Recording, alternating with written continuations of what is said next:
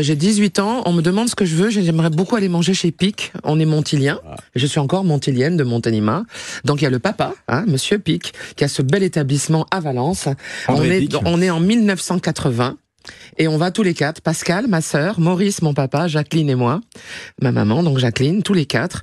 Et, euh, et j'ai eu l'autre cuidance sur le, la grande carte. On faisait des cartes grandes de 90 cm de haut, comme ça.